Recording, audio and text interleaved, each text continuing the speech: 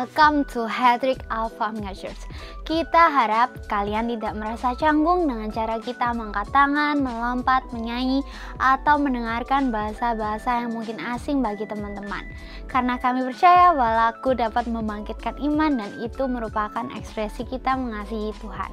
Alpha Mega adalah tempat untuk orang yang tidak sempurna. Jadi kalau di antara Anda ada yang punya kawan atau keluarga yang tidak sempurna, Anda bisa ajak mereka untuk bersama-sama terhubung lewat ibadah online ataupun hadir ibadah onsite. Di Alpha Mega Church kita berusaha membangun suasana yang antusias dan semarak dalam setiap ibadah baik onsite maupun online. Sehingga kita sangat mengajak Anda untuk berpartisipasi dan responsif dalam ibadah ini. Feel free untuk ikut bertepuk tangan, mengangkat tangan, tersenyum, dan menikmati apa yang sedang berlangsung. Berikut ini ada informasi yang baik untuk kita perhatikan. Nah, buat kalian yang muda dan berenergi, bulan September kita ada acara Youth Conference, ada gestar Raquel Lewi. Catat ya tanggalnya, tanggal 21 September kita akan party bersama selama satu hari dan akan ada workshop, party night, dan game seru-seru lainnya seperti badminton, esport, dan juga lomba vokal. So, tunggu info selanjutnya ya. Mari kita siapkan diri kita untuk diinspirasi pesan yang akan sangat membangun kehidupan kita. Enjoy the rest of the service. God bless you.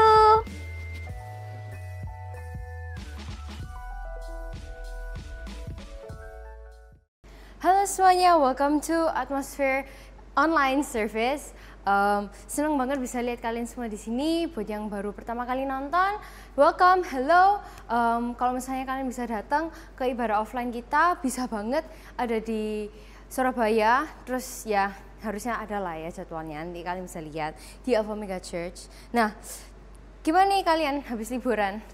I bet your holiday was fun aku nggak tahu ya maksudnya ini kalian maksudnya kapan? Soalnya kan aku udah nggak sekolah nih gitu kan. Jadi aku udah libur and ya yeah, I'm having fun. What about you guys? I bet you guys are having fun juga ya kan? Ya apa pasti kan banyak yang keluar kota atau keluar negeri bahkan ya kan? Terus maybe ada yang visit Cece atau kokonya yang lagi kuliah di luar negeri juga sekalian sekalian liburan ya kan? Terus um, maybe juga ada yang kayak oh nggak ngapa-ngapain sih cuma di rumah tok. Paling cuma ngapain? Tidur subuh doang sih paling jam berapa? Jam 2, jam 3, jam 4? Well, it's okay. I did that too. Aku juga kayak gitu kok. But how are you guys feeling for your first year of school? Excited nggak? Maybe ada yang udah naik kelas, ya, naik ke SMP, naik ke SMA, atau juga ada yang mau masuk kuliah nih habis gini, sama kayak aku nih. I guess, yeah, it should be exciting lah ya. Well, mungkin beberapa merasa kayak, aduh cek, aku nggak excited Paul. Soalnya kayak, I cannot wake up uh, for the morning. I cannot wake up in the morning again ya kan. Kayak, it's difficult for me to wake up in the morning.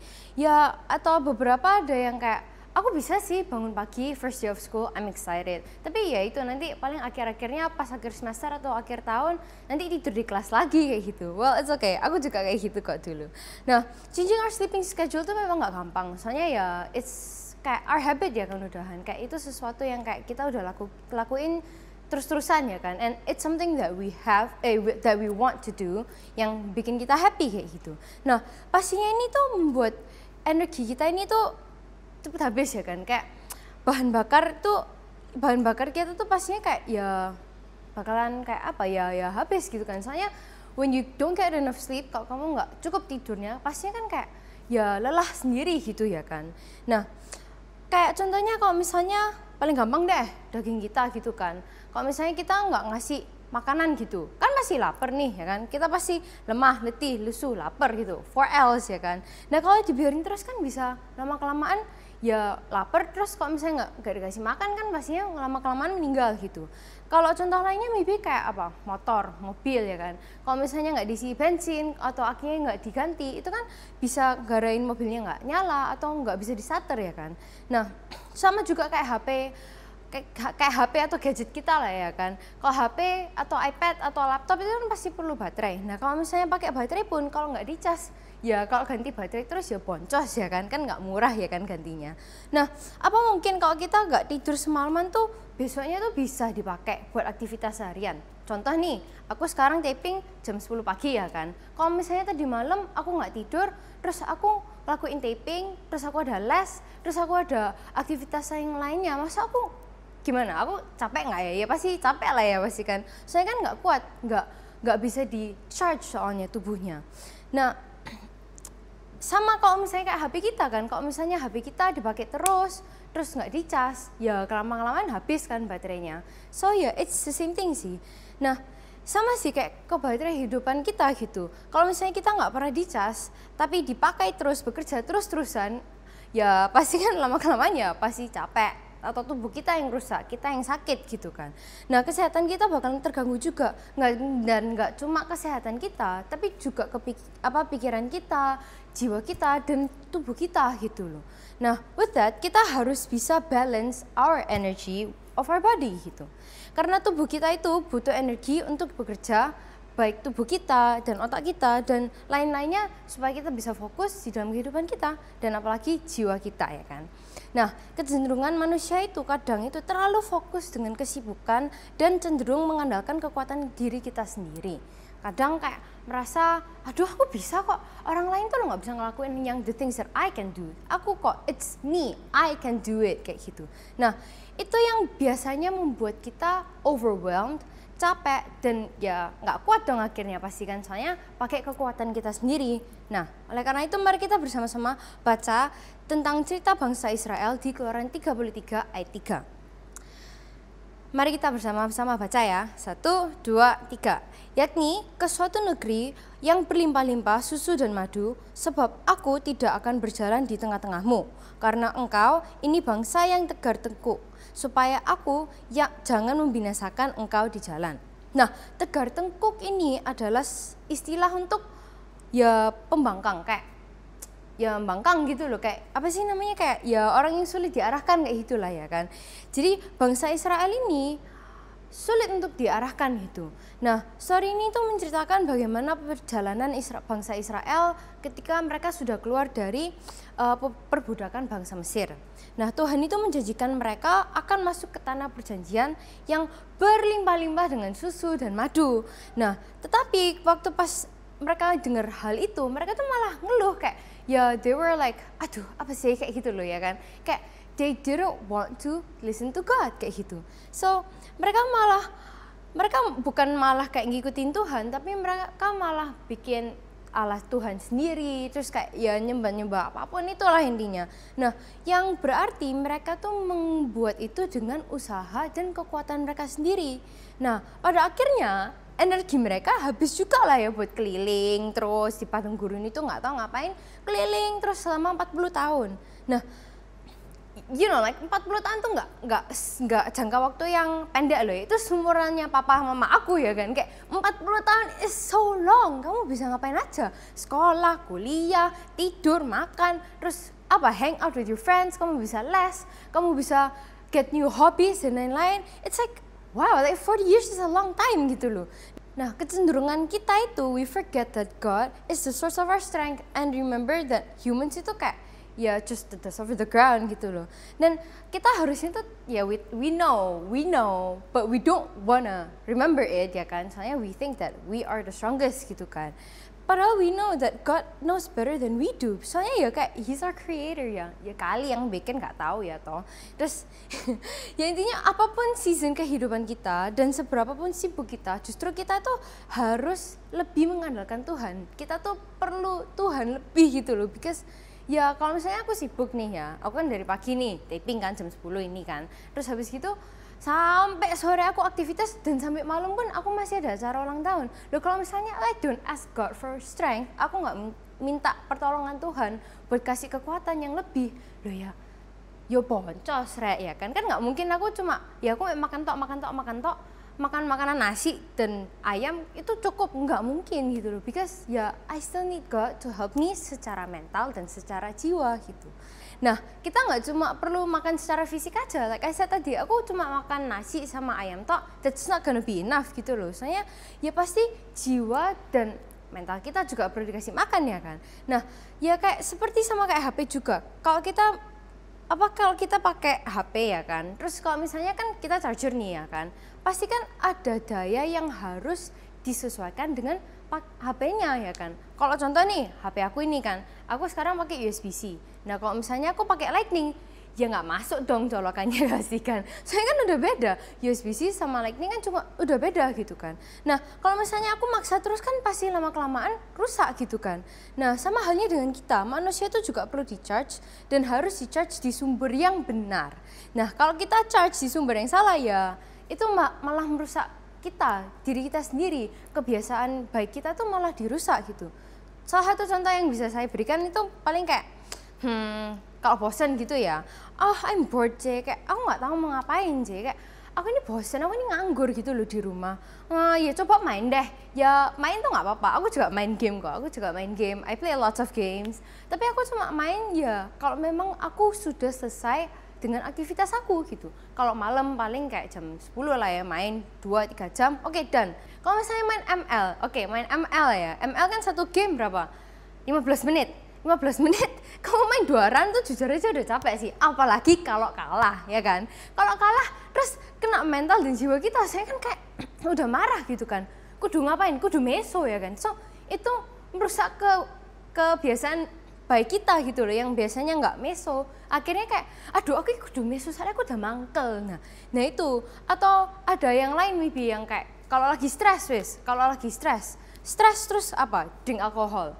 Aku mau minum-minum ah aku pergi minum-minum temen-temen gue wes aku mau minum gitu. Atau maybe ada yang shopping. Um, contohnya apa? Kayak kalau misalnya ya mau shopping padahal utangnya udah banyak tapi tetap go shopping gitu. Nah itu kan bukan sesuatu hal yang baik ya kan? Nah atau maybe ada lain yang lain juga kayak clubbing tiap malam gitu aku dari dari dari dari klub klub A terus habis gitu udah jam 4 pagi. Nggak pulang malah ke klub B. Nah kan kayak that's making you much more stress gitu loh. Nah atau maybe ada juga yang nyari pacar paling ya. Kayak aku bosen aku nganggur aku nggak tahu mau ngapain. Oh aku tak cari pacar aja deh aja deh. Kayak hmm that's not gonna help you ya. Maybe kelihatannya semua hal-hal yang aku sebut tadi itu kelihatannya kayak itu bantu aku kok C itu it helped me heal in life. Ya maybe it helped you heal but kamu tahu nggak sih kalau itu cuma bisa bantu kamu cuma sementara doang gitu loh.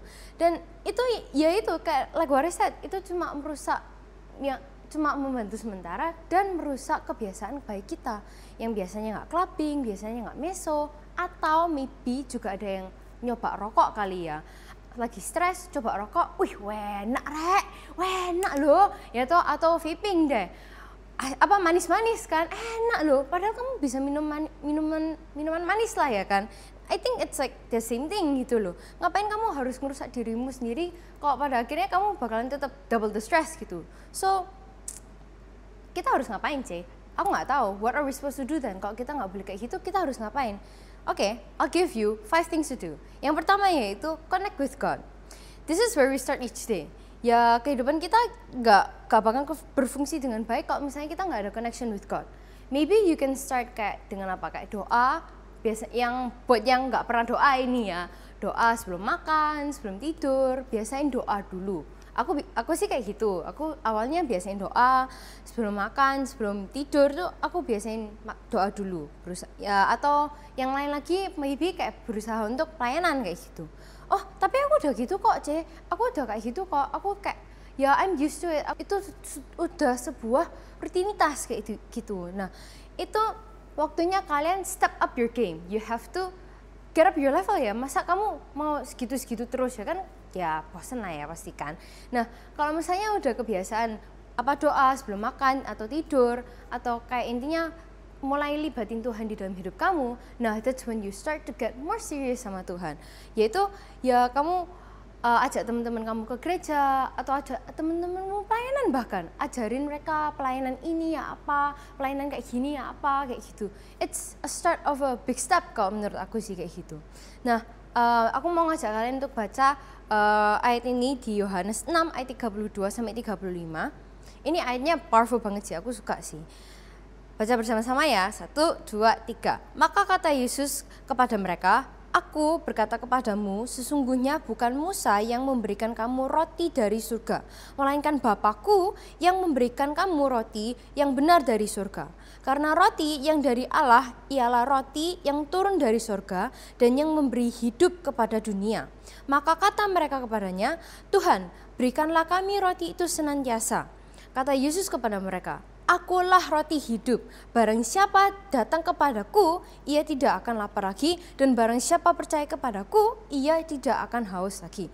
Nah, we can see dari ayat terakhir Yohanes 6 ayat 35 tadi itu Tuhan itu roti hidup yang mampu memberikan kita hidup kepada orang yang memakannya gitu. Nah, kayak intinya ya kalau misalnya kita dapat roti itu, masa kita nggak mau share sama orang lain juga, ya kan? So Let's get connected with God, for He is the bread of life. Nah, selain selain kita connect with God ya, kita juga have to keep a positive attitude kayak gitu. Nah ini crucial banget sih, soalnya ya jujur attitudeku juga nggak baik kok. Nah ini ada satu ayat yang uh, ingin saya bacakan bersama-sama di Amsal 23 ayat 7 yaitu sebab seperti orang yang membuat perhitungan dalam dirinya sendiri demikianlah ia silakan makan dan minum katanya kepadamu, tetapi ia tidak tulus hati terhadapmu. Nah, negative thoughts deplete your energy. Positive thoughts replenish your energy. Jadi kayak ya why have negative thoughts all the time when you can be positive ya kan?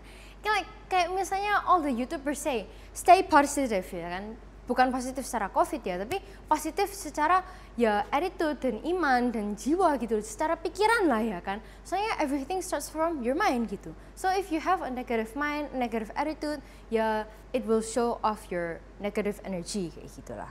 So ya even how no matter how difficult the circumstances is you have to be able to make your right choices lah ya. Kayak seberapa susah hidup kamu kamu harus ya apa caranya kamu harus bisa nyari kayak membuat itu sebagai pembelajaran positif lah ngomongnya kayak gitu. Nah, selain kita connect with God, keep a positive attitude, kita juga harus get a plenty of rest. Kita tuh harus dapat istirahat yang banyak kayak gitu. Soalnya ya maybe kalau misalnya kita masih muda, aku masih belum umur 30 ya kan. Jadi aku maybe kayak kids in my age atau orang-orang yang seumuran aku atau kalian yang seumuran aku biasanya merasa kayak ya aku bisa kok, aku biasa aja kok, aku masih kuat kok, aku masih muda. Ya, ya semua orang merasa masih muda, tapi ya pada akhirnya kalau misalnya kita terlalu memakai energi kita, kita terlalu sering kayak terus-terusan kita terus yang melakukan itu tanpa dikasih makan ya ya pasti capek lah ya kan. Tanpa apalagi kalau misalnya nggak tidur itu ya it's gonna be tiring and exhausting gitu loh. Jadi ya kayak pada akhirnya kita juga bakalan get grumpy dan gara-gara kita nggak dapat istirahat yang banyak, kita get grumpy, kita give a bad negative attitude gitu. So ya yeah, everything is connected gitu loh menurut aku ya. So don't forget to rest well and get connected with God because He is the bread of our life gitu. Nah keempat, eat the right food at the right time. Nah ini makan ya, makan ini memang sesuatu hal yang semua orang suka ya kan. Siapa yang nggak suka makan? Aku juga suka makan kok. Nah input sama output itu harus balance ya. Kayak aktivitas kamu seharian ngapain aja, ya kamu harus balance itu dong ya kan. Kalau contoh, aku boleh kasih contoh waktu pas pandemi deh. Pandemi kan kita nganggur semua kan, so outputnya kan nggak banyak. Nah inputnya sama nggak banyak dong. Kalau aku waktu itu aku sempat seharian cuma makan sekali itu pun cuma makan makan pagi terus sudah sampai malam aku nggak makan why soalnya outputnya aku nggak ngapa-ngapain outputku nggak nggak banyak aku cuma makan sehari sekali ya cukup buat balance my life kayak gitu. Cuma sehari ya tapi itu ya. Kalau misalnya besok nggak makan ya ya lapar gitu kan. Nah nggak cuma makan doang tapi kita juga harus bisa banyakin balancing our protein and fats. Ya kayak kalau misalnya makan protein ya kayak daging, makan meat, chicken atau nuts and also fish gitu kan. Nah, selain itu ya kita juga harus bisa hindarin sweets ya kan, manis-manisan yang berlebih. Nah, yang suka minum manis-manis, aku juga suka minum manis-manis. Nah, itu harus harus bisa belajar buat dikurangi, dikurangi, dikurangi, ya kan? Soalnya kalau kebanyakan itu juga nggak baik gitu loh. Um, kalau misalnya aku sih, kalau misalnya ya aku nggak ada makan nih, tapi aku kayak mulai capek atau mulai lemes gitu biasanya aku baru minum manis because manis-manisan ya it helps you to energize yourself ya kan so ya itu okay lah ya kan? Kalau cuma sekali-sekali. Nah poin yang terakhir adalah exercise olahraga. Nah gak harus jadi atlet kok buat menjaga our body to be healthy. Kayak aku nih contohnya uh, keluarga enggak sih. Saudara aku sama sepupu aku kebanyakan main basket. Ya aku memang nggak bisa main basket sih. Aku bukan seorang atlet ya kan? Tapi aku berusaha untuk jalan di mall lah ya. Jalan di mall jalan jalan jalan jalan jalan. Itu kan secara nggak langsung kehitung kayak berapa ratus step lah ya kan saya kan kalau misalnya jalan di PM itu kan gede banget toh gede kan mallnya kamu naik turun muter tiap tiap lantai kan pasti lumayan gitu loh. At least you exercise gitu.